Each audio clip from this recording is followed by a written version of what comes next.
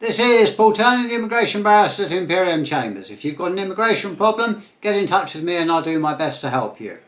Today I'm going to be talking about the uh, Home Office and the new Secretary of State um, and the continued failures um, despite there being a new uh, head at the top of the Secretary uh, uh of the Home Department. It seems that while we've had a change of government and a new Prime Minister who seems to have set out her policies quite clearly, the Secretary of State uh, seems to be continuing with the failed policies of Priti Patel. Um, uh, one might think that with a new government we might get a reset on, on the immigration system given how broken it is, or at least an overhaul or a, a, a look at it again. However, nothing uh, uh, appears could be further from the truth.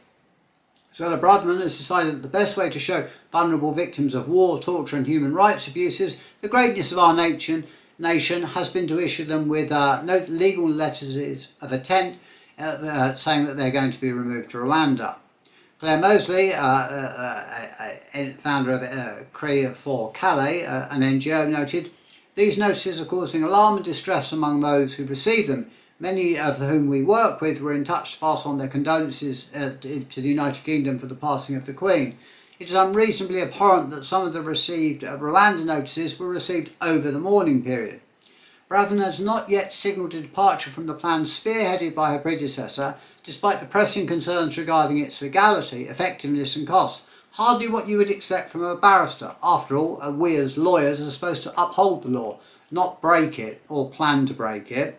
This follows on from an aborted attempt, as we know, to force dinghies to return to France as a failure to even have the slightest impact on, which has had the slightest impact on uh, channel crossings uh, by the ramping up of uh, naval patrols. In fact, far more people are arriving than they have before.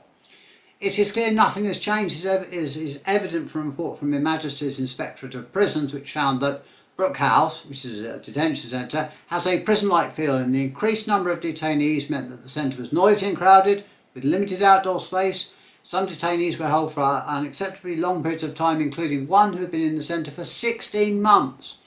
Many of my clients are able to corroborate the sentiment of the report, um, and it serves to add to the catalogue of failures that are uh, continuing to grow um, in the Home Office. Uh, and as I say, one might have thought that, that Suella Braverman, being a lawyer, having taken over the Home Office, might have actually stepped back for a second and thought, well, is this all working? Mm, no. What can I do about it? Mm, maybe start again or, or put in a plan to consult? No. She seems to be carrying on uh, with Priti Patel's policies.